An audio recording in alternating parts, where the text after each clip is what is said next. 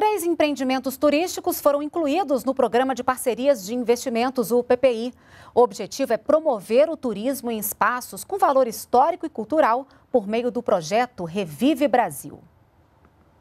O programa de parcerias de investimentos amplia e fortalece a interação entre o Estado e a iniciativa privada por meio de contratos de parceria, a exemplo da concessão de aeroportos, portos e rodovias. E para incrementar o setor de turismo no país, o governo federal acaba de oficializar a inclusão de três novos ativos públicos no PPI para revitalizar patrimônios históricos e turísticos brasileiros. Os imóveis são Ruínas Aldeia dos Sentenciados, no arquipélago de Fernando de Noronha, a antiga estação ferroviária no município de Diamantina, em Minas Gerais, e o Palacete Cavalho Mota, antigo Museu das Secas, que fica em Fortaleza, capital do Ceará.